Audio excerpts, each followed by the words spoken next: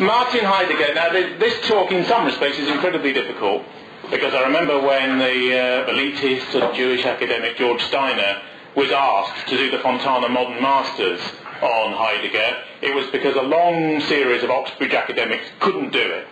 They basically couldn't reduce the extraordinary complexity of, in particular, this work Being and Time to 100 pages, because Fontana Modern Masters, as you know, is a student's sort of quote-unquote cheat primer, the sort of thing that people look up on the internet now. And to reduce Heidegger to that is slightly ridiculous, but you also have to provide a sort of middling and upper middling foregrounding for people to come into the theory anyway. Otherwise they'll be at sea. Now what people do when they write sort of Times Literary Supplement, never mind Sunday Times articles about somebody like Heidegger, is they basically talk about his politics. They talk about whether or not he had a mistress. They talk about his early Catholicism. They talk about wraparound and biographical matters because the theory is amongst the most difficult metaphysical theory written in the last century. Probably Adorno and Sartre on the ultra-left, both of whom cross over with certain areas that Heidegger was concerned with, Sartre biographically, never mind anything else, and Heidegger are amongst the most complicated theorists that one can ever imagine. So before we start on this talk, we have to look at what's happened to Western philosophy in the last hundred years. Now, for those who read philosophy at tertiary level in our universities, and tertiary education has been so degraded in many respects through egalitarian discourse that it's almost meaningless. But for those who do, they know there's two great clusters in Western academic philosophy, so-called Anglo-American philosophy and so-called, but essentially actual European and continental philosophy. We grow up, whether we like it or not, because even the Tony Blairs of this world are actually subliminally influenced by these ideas, in an empirical, naturalist, factually oriented, slightly anti-theoretical current, which comes from our alleged and soi-disant enlightenment. And we come out of an essentially an anti-theoretical and an anti-metaphysical discourse, which is why something as unbelievably outre as this is literally outside of British and Anglo-concentric thinking in all sorts of ways. For a long time it was said that Being and Time would be untranslatable, and this wasn't translated until 62. And don't forget, the book was written in the 20s, and it's translated by two academics, so it's sort of two for one, with Blackwell's the sort of generalised Oxbridge publisher.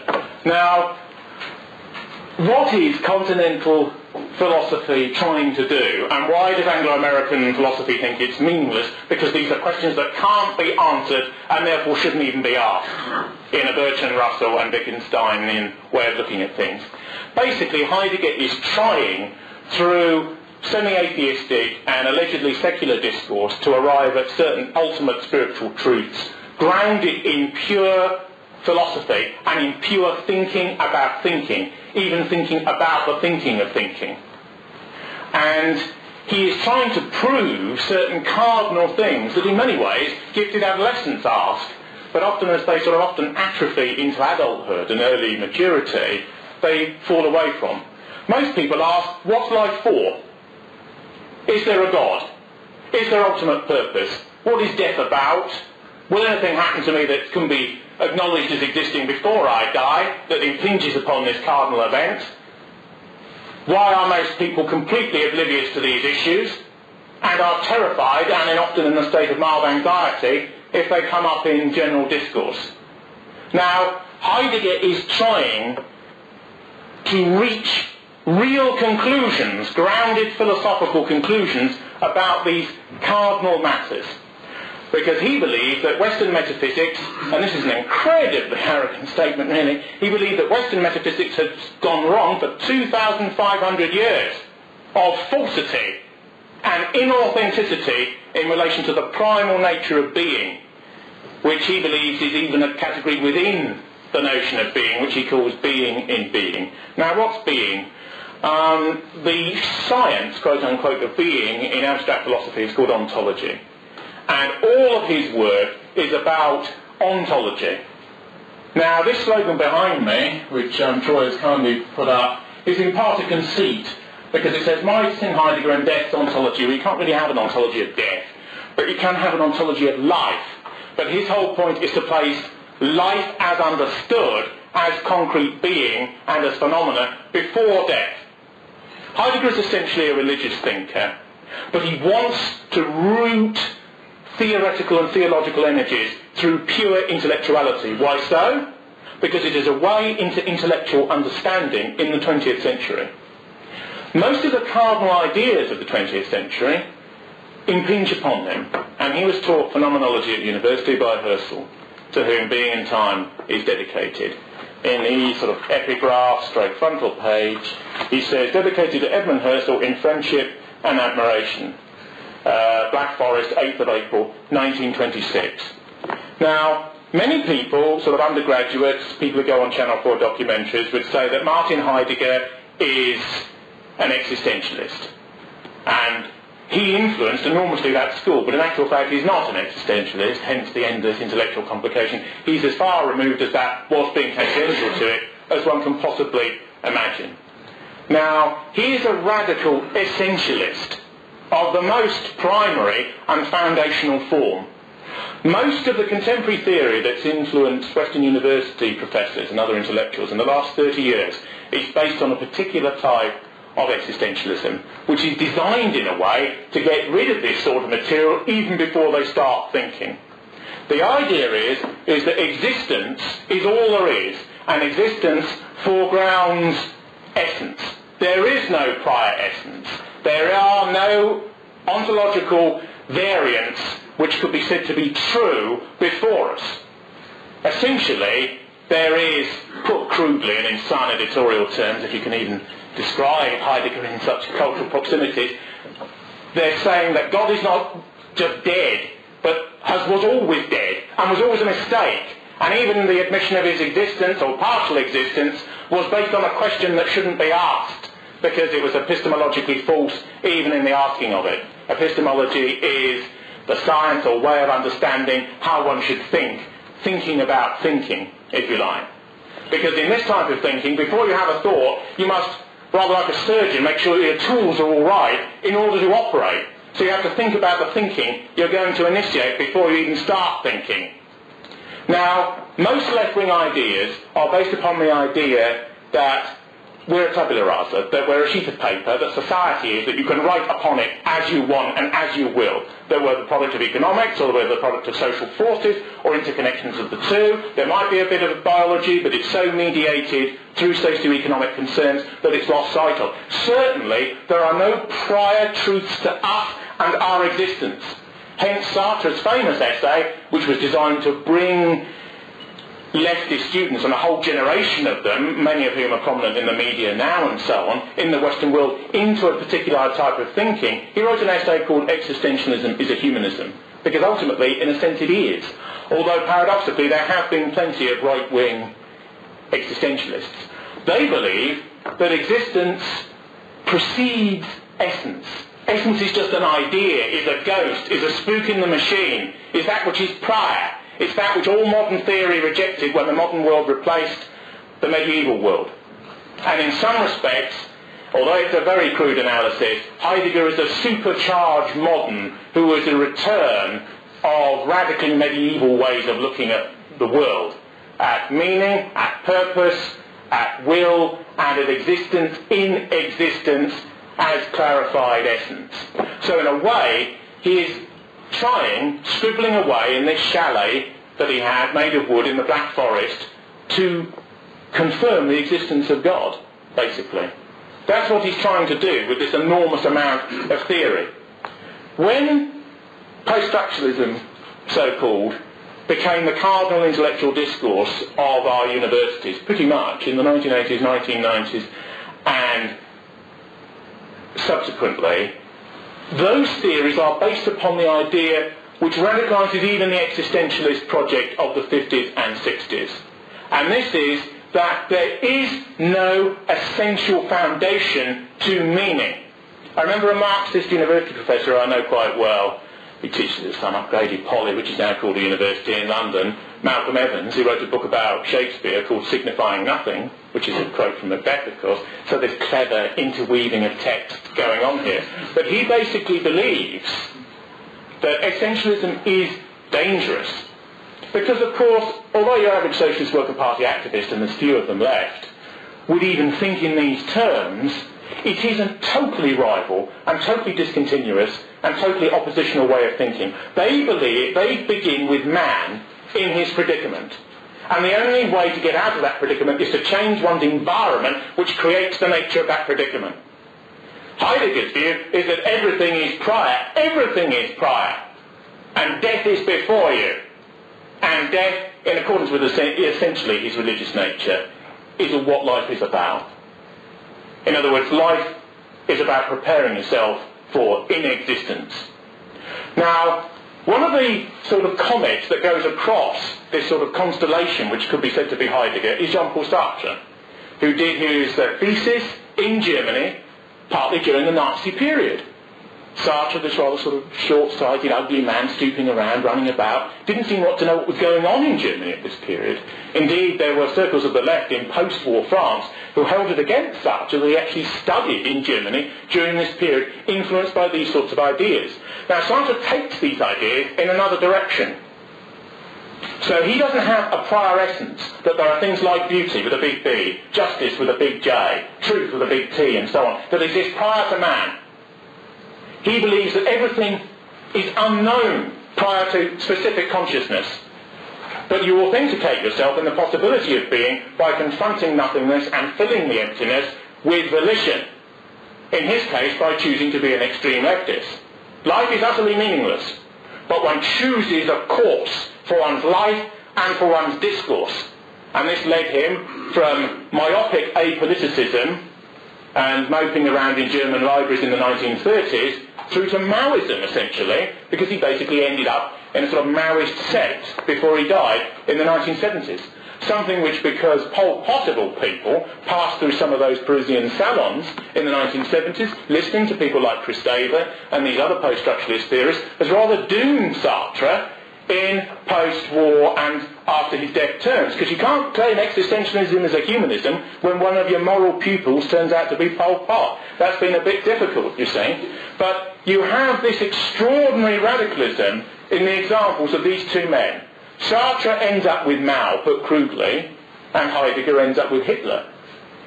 Because both of them, if you like, begin thinking cardinally about the values of our civilization which when you think about it logically, would lead them to some of the most radical conclusions, socio-politically and ideologically, which are possible.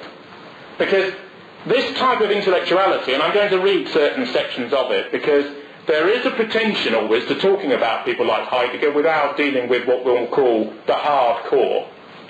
You've actually got to look at the material, which is written in a sedentary way, but is written in a sense in accordance with the notion of intellectual fury, it's the belief that all of life and all of meaning can be revealed through mental processes, which I don't believe is true, but it's a, it's a heroic attempt to do this.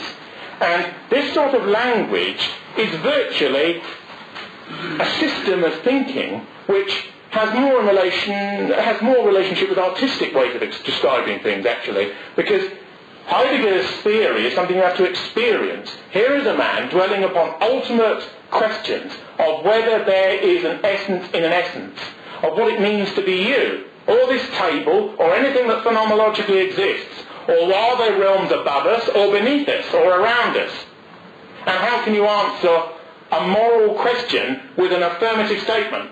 Wittgenstein's point in Tractatus and after is that ultimately you can't answer a morally affirmative statement because to do so is meaningless outside language and language is all that exists and language is given even only a partial meaning through context.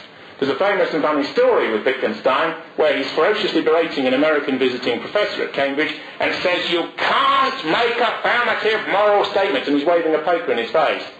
And the university professor replies, here's an affirmative moral statement, don't wave pokers in the faces of visiting professors. And Wittgenstein hurls the uh, poker into the fire and storms out of the room in a, in a, in a rant. But these attempts, abstract and very radical though they are, always, like Icarus in a sense, go up and then come down again. Because mark my words, every politician and every pundit, no matter how low level, no matter how 200 times beneath this sort of discourse they are, is actually replicating ideas that have come from somewhere and are going somewhere. The reason why is, you know, you walk around London today, the world is as it is, is ideological in the broadest of senses.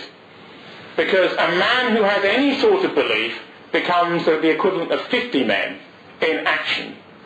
And Heidegger was a man whose action was theory in this purely Germanic way. I met a German intellectual once and he said, ah, you're an intellectual. And he sits down and looks right into your eyes and you begin the theory. This is a totally un-British sort of way of behaving because there's no concept of irony in a way. But this idea that you achieve truth through almost the violence of intellectuality, which in a way uh, Heidegger evinces. Now let's read something from Being and Time. And now, Being and Time is divided into two books, essentially.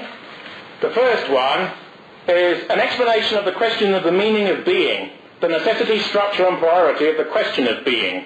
This is whether we can even talk about the nature of talking about the book. We have the necessity for explicitly restating the question of being. We have the formal structure of the question of being. We have the ontological priority of the question of being. And we have the ontical priority of the question of being. That takes him 32 pages before he's even started. You've got to clear away all the grass, uh, all the sort of refuse in your garden before you start, basically. Part one is the interpretation of Dasein in terms of temporality. That means the interpretations of being in terms of time. And the explication of time as the transcendental horizon for the question of being. Then there's another section about being in the world in general as the basic state of Dasein. Then there's a section on the worldhood of the world. The worldhood of the world, by which he means, is the world as we appear? Can we prove that you're actually there? Because it's actually very difficult from first principles to prove common sense.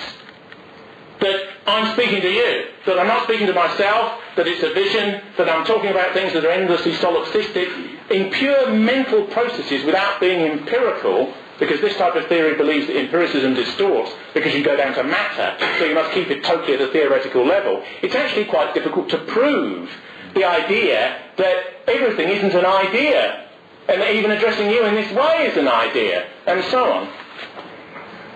Being in the world as being within and bringing oneself to the they. This is the idea that one approaches the possibility of semi-existence in another, theoretically, before one gets there. Then one has being in, hyphenated, as such.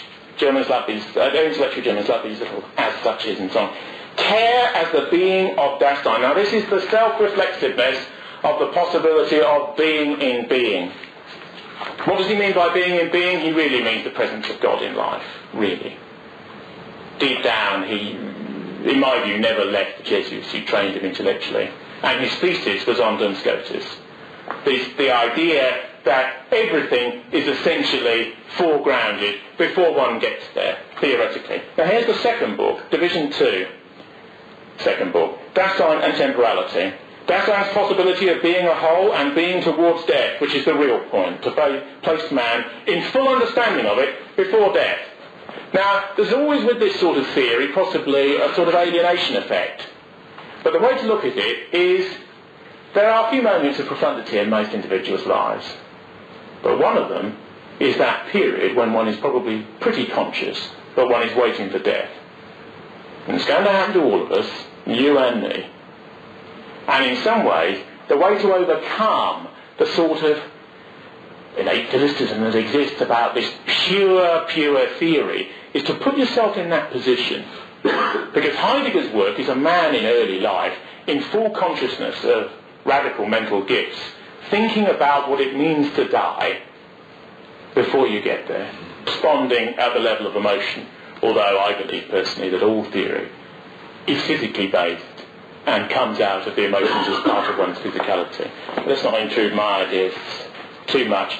Another section is Dasein's attestation of an authentic potentiality for being and resoluteness. Another section is Dasein's authentic potentiality for being a whole and temporality as the ontological meaning of a care. Then there's a section on temporality and everydayness By this time we've got up to page 421, by the way.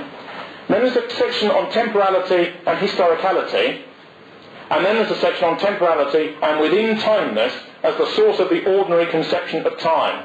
Then there's some dealings with other theorists who are rather sort of brushed away at the end, Hegel in particular.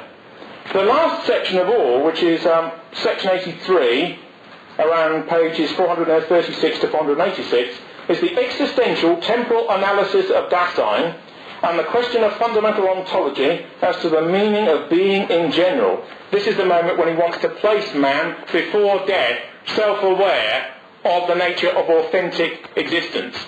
As a critique of all of this sort of material, Adorno, in some respects, his chief ideological nemesis on the other side, wrote a book called The Jargon of Authenticity, which is an attack upon this type of thinking. Adorno is one of the key thinkers in what's called Western Marxism and the Frankfurt School. Now, here is a, a section on death, because it's all essentially about death. Underlying this biological ontical exploration of death, that just means a biological exploration of death, is a problematic that is ontological, that concerns the science of being. We still have to ask how the ontological essence of death is defined in terms of that of life. In a certain way, this has always been decided already in the ontical investigation of death. Such investigations operate with preliminary concepts of life and death, which have been more or less clarified. That's in the last 290 pages, which I'll forbear from reading out. These preliminary conceptions need to be sketched out as the ontology of Dasein, which is being in being. Within the ontology of Dasein, which is superordinate to an ontology of life, the existential analysis of death is in turn subordinate to a characterization of Dasein's basic state. The ending of that, uh, which lives, uh, pardon, this is very, very difficult to read, even up here. The ending of that which lives we have called perishing. Dasein too has its death of the kind appropriate to anything that lives. And basically, he's asking here, does what traditionalist orders have called the soul survive death? And it has, not in uh, ontical isolation, but as co-determined by its primordial kind of being. Insofar as this is the case, Dasein too can end without authentically dying. Though on the other hand, qua Dasein, it does not simply perish, we designate this intermediate phenomenon as its demise. Now there's a large footnote which I'll forbear from going into because it's printed in point six, I think. Let the term dying stand for that way of being in which Dasein is towards its death. Auxiliary footnote. Accordingly, we must say that Dasein never perishes. Dasein, however, can demise only as long as it is dying. So he's, call, he's talking about the death of the concept of the soul, which is self-aware of the possibility of that moment. Okay? Medical and biological investigation into demising can obtain results which may even become significant ontologically if the basic orientation for an existential interpretation of death has been made secure. Aha! Or must sickness and death in general, even from a medical point of view, notice medical point of view, physical stuff, which we keep out of sight, uh, be primarily conceived as existential phenomena. The first thing that strikes you about this is his attitude towards death. You walk around a death ward in a hospital, you know, they're all about to give out. Most people's response is physical and emotional, the one on the other. He regards that as bourgeois deviation, even as filth. Always keep your theory before you, because that's how you apprise the nature of that which is real as against that which is mere appearance and that which is governed by dread. In the 1960s, the counterculture that had many tendencies which ultimately tended overwhelmingly to the left, regardless of this, had the notion that I've lost my thread now. Um, in the 60s, there were many, many countercultural tendencies, but they had the notion that life was not as it should be or could be. That there needed to be a spiritual dimension to human beings that had been lost sight of given the collapse of the Christian religion. And I take it as unarguable that in our civilization in the last hundred years, in accordance with what it once was, in the West, largely with the odd exception, individual and group, the Christian religion has collapsed. And it's collapsed amongst the most advanced thinkers of our civilization and racial or ethnic group from early in the 19th century, or at least they were aware of the possibility of its mass collapse long before it became a sociological phenomenon. This is why this theory, which ultimately has had much more impact in theology than it has in philosophy, has been put in this particular way. Now, let's have... Now this book goes on for 460 pages. And when the Renaissance occurred in our thinking, one of the great criticism of the philosophical schools that preceded it, of which Duns Scotus was an accredited master, was that they were dealing with things that could never be proved at this level of reality, even theoretically. And the slogan that's used is that they were debating the number of angels that can dance on the head of a pin. And it was all utterly pointless. And we had to get away from all of that. Now, Heidegger wants to go back there to up to a point. But in actual fact, he wants to go further back. He wants to go back to the pre-Socratics. He wants to go back to the Sophists. He wants to go back to the original and primary Greek thinkers that begin the process two and a half thousand years ago, which is why Nietzsche obsessed him. Because if you like, Nietzsche stands halfway between this radical essentialist stroke quasi-religious thinking that there is before you nothing but God, and God in all, and God for all, and you're part of Him, which is if you sacralize this language, begins to make sense of what being is, what being in being is, what being in being before being is, and so on. It's, if you like, a rerouted theological language use. There's that position. And prior traditionalists who have right-wing views largely accord philosophically and psychologically with this area. Nietzsche, who's a figure who obsessed Heidegger, of course, and who had this enormous theoretical explosion at the end of the 19th century, just preceding the emergence of people like Husserl, Jaspers and Heidegger in early 20th century Germanic thinking at a high philosophical level. Don't forget, Anglo-American philosophy almost denies the possibility of metaphysics. Bertrand Russell would say, if he was sat at the back, which is a bit difficult considering he's been a corpse for about 30 years, but he would say it's all meaningless. It's an interesting talk, but it's about things that can't be proved at any level and is therefore pointless. Because your view is as good as his, as good as so-and-so's. The only difference is people can put it better or worse. But there can be no grounded truth that I can grasp and put social practice and purpose to. Now Nietzsche stands half between, halfway between the left existentialist view, that there's nothing prior, that put very simply, we make it up as we go along. Baudrillard, a French intellectual, wrote a book in the 1990s saying that the first Gulf War was just a computer game. Didn't happen. Didn't happen. It's just a discourse. All those cluster bombs and stealth bombs and so on. It was just a fantasy of a televisual age. One man's discourse, you see. In an age of extreme relativism, which is the almost opposite of this absolutist theory, totalitarian theory, which is actually mentally what it is. We see the division between what exists now and the reasons for some of the very controversial, certainly in mainstream, political choices that Heidegger made in the middle of his life in Germany in the 30s. Now Nietzsche's position is that there is a prior, there is an essence, but Nietzsche is a partial to semi-absolute existential thinker.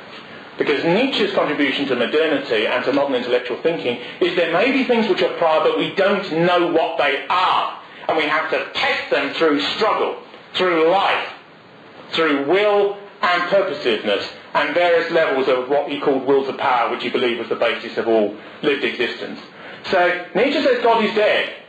To say he's a militant atheist, but partly to say that the idea of God in the minds of men has died, which means that theoretically it may not have completely died, but is in a point of collapse.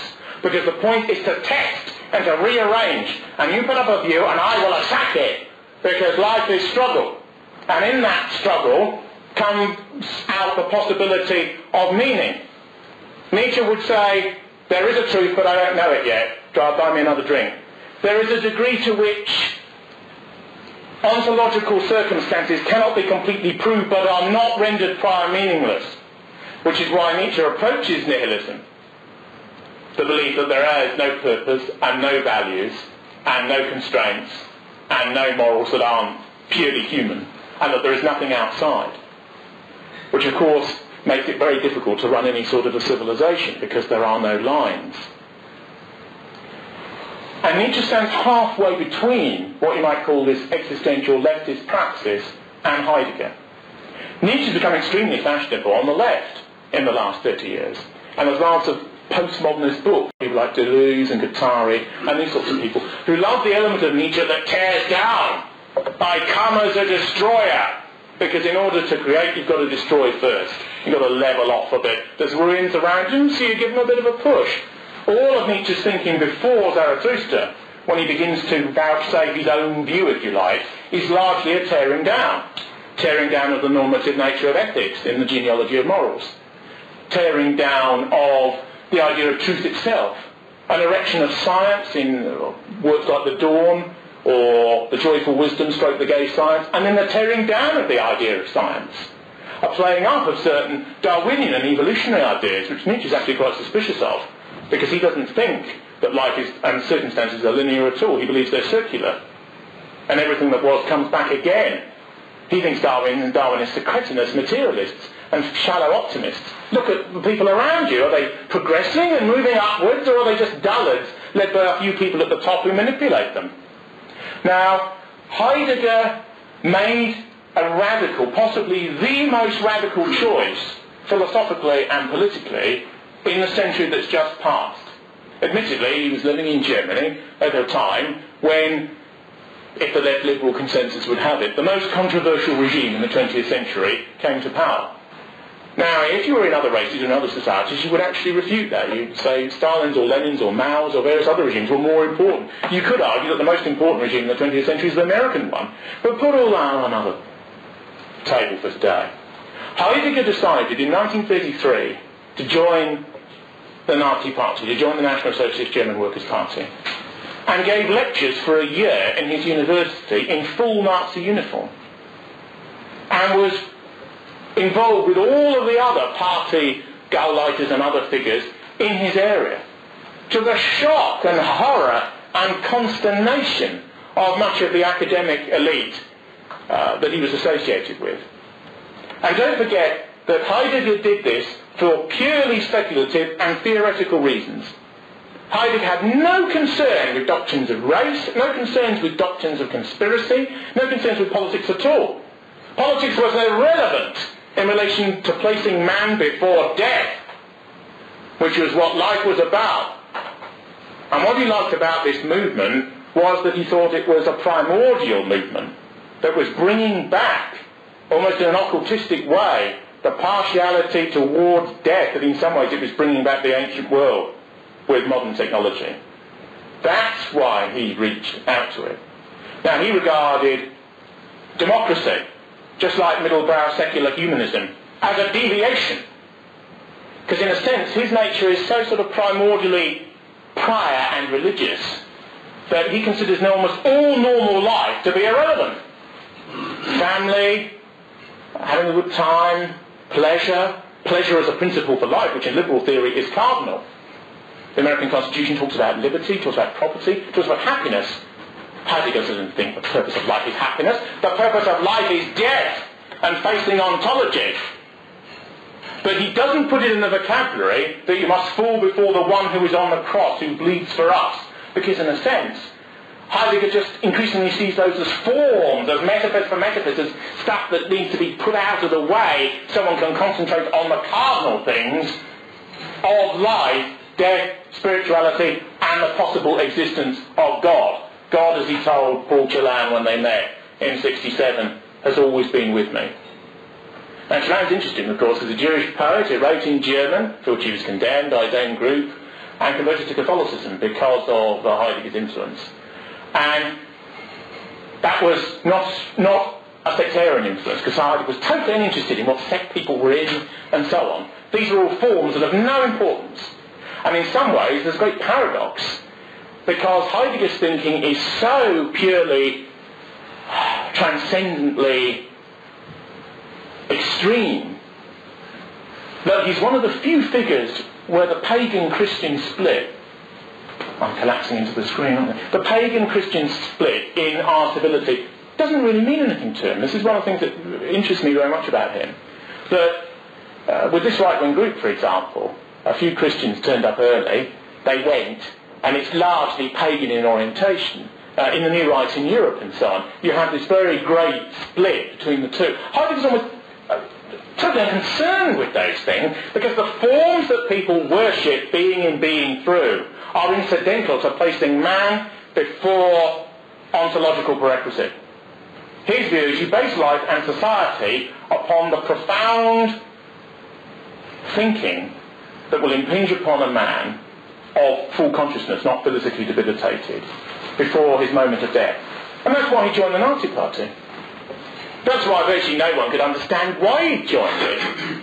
Because he was totally sort of unorthodox in ideological terms, because he had very little interest in that. After a year, he so sort of realised that um, one, probably they, at a crude level, they didn't understand what he was on about. Two, that he was having to make political decisions in the university and the library and its use and something he didn't agree with. And he fell away. And he left the party then and continued to, to um, teach in the university until 1945. In 45, he was prescribed by uh, denazification tribunals that were set up in the Western Allied zones. Now, he was forbidden from teaching in post-war Germany, even though all sorts of people had him as a guest lecturer, so they used to get, get round it that way. And you had this strange situation where he became a sort of moral and spiritual leper in post-war Germany, and yet he was extremely respected. So Dr. Heidegger, Professor Heidegger, was everywhere, and at the same time didn't even have a university post. And there's all sorts of interesting things, because Husserl taught him that because Husserl was a Jew, he was banned from the university library. But after the war, Heidegger was banned from the library, and Jaspers wrote to educational authorities in Germany saying he shouldn't be given the post. So you have all of this as well. But there was a play a couple of weeks ago actually on the BBC by John Banville, an Irish writer, about Heidegger that was very interesting. And it's a dramatisation because all dramatists are interested in dialectic. They're interested in two minds it's a theoretical play of any sort two minds coming together that disagree and the tension and the charge and the flow of energy that occurs between those two minds and whether you can make a narrative out of it that can be listened to from beginning to end. And it's this talk in his hut in the Black Forest because very interestingly there is almost inevitably a monastic element to Heidegger. Heidegger goes in, into the woods in primal inner Germany to sit there in the middle of this forest and dwell upon death and write a book of 450 pages of um, probably of, to certain Anglo-Saxon minds, sheer intellectual torture virtually, in order to get nearer to the truth that is the truth that is the truth, that will not set you free, but release you to die with some dignity. Because that's the only truth that matters. And there's a sort of um, divine element to it in a way, because it's so near to the inexpressible. Um, artistically, of course, in a blowback sense, it's had an enormous influence on novelists in Germany like Hermann Broch and these sorts of things. He wrote The Death of Virgil and he wrote a book called The Sleepwalkers and so on. And this extraordinary capacity for intellectual abstraction that many German writers have, they begin with a sort of a, relatively straightforward narrative and suddenly launch off into ultimate speculative questions, very much influenced by this type of theory. But I don't think people who are illiberal can understand the shock in liberal intellectual elitist circles of a man like Heidegger joining the Nazi party. It is it's actually slightly uh, emotionally difficult to describe it. It is from the sort of view of BBC sort of culture. It is the worst thing, and not just the worst thing, but the, the beyond the worst that one can one could do. This man of supreme intellectual gifts, dwelling alone in his Shavian hut in the woods, dwelling on the ontology of death in life, in death in life, in death in life, you see what I mean? Joins what they consider to be a sort of barbarous wrecking crew. And they're appalled. They're utterly morally appalled. And since the war, people have not really known what to do with Heidegger at all.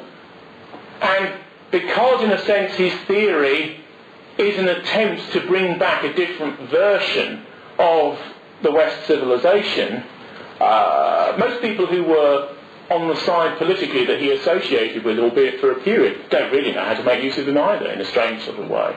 That's why he's this sort of elicible figure. It's noticeable in Tomislav Sunic's book on the New Right, for instance. Um, Heidegger in a way can't be integrated. It's a sort of cigarette on the paper that burns through to the other side. He really is in a zone on his own. And what's he trying to do? He's trying to see whether human beings can live authentically. There's a moment in Nietzsche's letters early on in his theoretical course, development, prognosis, after the first text, um, Birth of Tragedy, when he describes seeing a goat herd killing a goat on a hill. I think it's in Italy. And it's what James Joyce would call an epiphany. It's a moment of total, in his terms, authentication and realization. It's a poetic moment. It's what certain natures call a perfect moment. A moment that certain consciousnesses will look at before they die as the one moment that was perfect. The sky and the goat and the man and the soil and the sun. And it's essentially, it's a religious moment. It's a sort of cosmo-faith moment in a way. And Heidegger's point is to get people to experience such moments, which is why he writes this enormous theory to try and intellectually prepare people for the possibility of having such moments. Which is why, of course, when people try and stimulate themselves to have such moments, they chant, they sing, they starve themselves, they go without, they live ascetically. They do things to alter consciousness. In a sense, he just deals with pure consciousness because he doesn't almost relate to the physical level at all. But it is an attempt to go back to what many Western and Indo-European theorists had believed was cardinal at the beginning of Greek culture. It's Nietzsche's view and it's other people's view, the, the Greek tragedians, the great three, Aeschylus, Sophocles and Euripides, that there is a quote-unquote decadence. That in a sense Aeschylus is the most hieratic, the most removed from everyday, the most transcendental, the most earth-ascending. Sophocles is not a humanist playwright by any means. This is the manner of the Theban plays, of course. But it's a step down from that sense of mystery, that sense of sort of sheer awe. We now live in a society without any sense of the sacred at all, as de Benoist has pointed out. It's virtually void. And a level down in this trajectory involving the Greek tragic writers is Euripides. He's hardly writing soap opera, but where the gods and the goddesses are seen almost, if not level with human beings, then as superhumans who are just a couple of levels up, but they relate to each other, they fight with each other, they make love to each other, and all the thing, all this sort of thing, in a way which is recognisably human-esque. And in a way, if you could metaphoricise it, because with theory like this, that's all you really can do, certainly in a talk of this nature. Those prior moments when Aeschylus looks at the divine, because don't forget Western theatre begins with religious ritual and gradually separates itself out. It begins with a monologue. And then Aeschylus has the idea that this is going on a bit too long, so we'll split it. We'll have a duologue and the two consciousnesses talk to each other. And in that you have the tension with which you can sustain drama in our culture, in any culture. Now, in this theatricalisation of this meeting in the hut in the woods where he wrote Being and Time and where he wrote other books on Greek tragedy and on Nietzsche. Celan and Heidegger have this talk. And this is Banville dreaming. But this type of theory is actually quite close to forms of artistic creation, to forms of higher, non-entertainment based spiritual creation in art forms. And then says, why did you join the Nazi Party? And Heidegger replies, because they were the one movement of the 20th century that in my terms had a tragic view of life. That had a view of life which is actually the motif and the inner essence, that's right, of the Greek tragedians taken up to date two and a half thousand years later. And I think that's essentially a truthful statement. He gave an interview to the Spiegel's Bible magazine after his death, in the sense that it was recorded before his death, but could only be published as part of his will and settlement after his demise. I think it was published about three, four weeks after he died. In which case, and they asked him, because it was a very adversarial interview while he was alive, post-dated, as I say, about why he joined, why he did this, why he did that, and so on. And in actual fact, there's a lot of evasion and attempts at explication and uh, bringing in all the usual things. And even though political correctness wasn't a buzzword then, he's in some ways playing games. He's, he's responding, he's like a politician on the defensive. But in actual fact, as often with art, in my view, you can cut to the truth suddenly through all sorts of layers. Even if the person never said it, it can actually illuminate because it crystallizes in a form the value of something. And when he says to Celan, with no one there in this fantasy, because Celan didn't go and see him in that hut for nothing, just so he could put his name in Heidegger's signature book. I've been up to the professor's lodge. You know, it's not... No, people at this sort of level don't do those sorts of things. He wanted to know why, uh, as George Steiner said, one of, if not the most advanced theoretical mind of the Western civilization in the 20th century, adopted this particular course. And he did it because he believed that you cannot have a society where death has no meaning, because life has no meaning. And you cannot have a society which bases itself upon the absence of the religious urge. However you define that urge and whatever system you use. Because if you do the reverse, you will end up with a society which has two values beyond subsistence. And that was in, could be seen in the title of a grubby play produced in London a couple of years ago called Shopping and Fornication. Yeah. That that is all that life is. If you do not have spiritual level levels based upon that, people will always be completely divided about the forms and the language that they use to talk about cardinal matters, but in a way, in a quite moving way, really, Heidegger is attempting to get people to face, in early modernity, what it means to have a civilization and not to be human, but to live with profound and real meaning. Uh, there's no doubt that this uh, theoretical postulation and this extreme abstraction is quite alien to elements of the Western civilization, certainly our own quadrant of it during the last couple of hundred years. But it is an attempt to place, to not to aestheticize life, but to place life ultimately at the service of God, even and most especially for people who either don't believe in him or can only approach such numinence through endless tiers of theory. Thank you very much.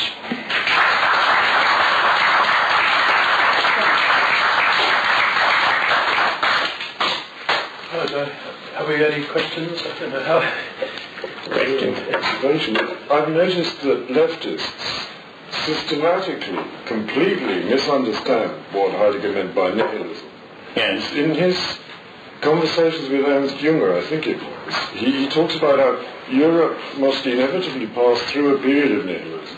You know, I mean, it's not that it's good or bad, it's just inevitable. Uh, you know, the question is whether it'll come out the other side or not. Yes. Something to that effect, I yes. think. Now, I read that long, long ago before I ever tried to read Heidegger's texts, but, um, you know, the, leftists who have a prior investment in the idea that Nazism, and Hitler in particular, were nihilists, from their point of view. They insist that Hitler had no principles, no values, no ideals, that he was simply uh, a manipulator.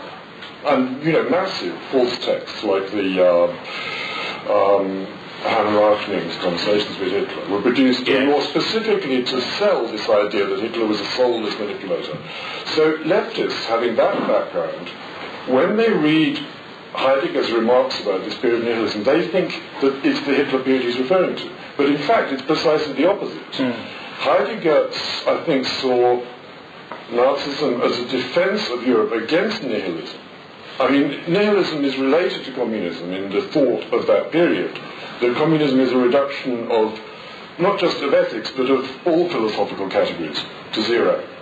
You know? So the fight against nihilism, in his mind, would have been very similar to the fight against communism in Hitler's mind. It's also, yes, and it's also relates to aesthetic ideals within religiosity. Um, a soul or an inner consciousness, let's say, a higher inner consciousness, fights against non-belief, against doubt, against unbelief, and so does a civilization. It wrestles with the prospect of meaning as absence. Because if you can't have that counter proposition before you, like darkness and light, or life and death, you can't think without an oppositional polarity. Much Western thinking proceeds oppositionally, proceeds by wrestling with that which needs to be overcome. Because the idea of nihilism, which in itself is also a very complicated idea because is it possible for any period of time for a group or even an individual to sustain what nihilism really means? The prospect of believing that everything is purposeless. Even the Sartrean idea that you step back from purposelessness and volitionalize it through commitment. Again is a denial of nihilism. He's gone there and doesn't want to stay. I think the relationship with communism might lie in, in materialism, because you probably won't agree here, because you said something that suggested you're a materialist yourself. Well, a Nietzschean. Well, but I mean, the person who comes to mind is not really an ideal example, but Guénon, who argue- Yeah. argues that materialism, in the reign of quantity and books like that, the materialism is, is really a, a stage in the process of reduction of the of the universe to absolutely zero, to nil. I mean, matter is the last stop before nothingness. Yes, Heidegger is within the discourse of continental advanced Western philosophizing a perennialist and a traditionalist, really, um, for whom the most agreeable semiotic of truth and purpose probably would be the Catholicism of his youth. But in actual fact, he doesn't want to get belaboured by that. He would much rather approach the entire question theoretically. Yes, that um, the the interesting thing for most for most of our species, though, is that uh, look at the Muslim world now. One truth, one purpose. Death for those who are excluded from it, at least in accordance with certain definitions of it, in a militant vanguard way. And that is a type of militantly essentialist thinking that the Western mind, in my view, can't encompass. Because it's not that it's cretinous, it's just it's not the way we perceive reality.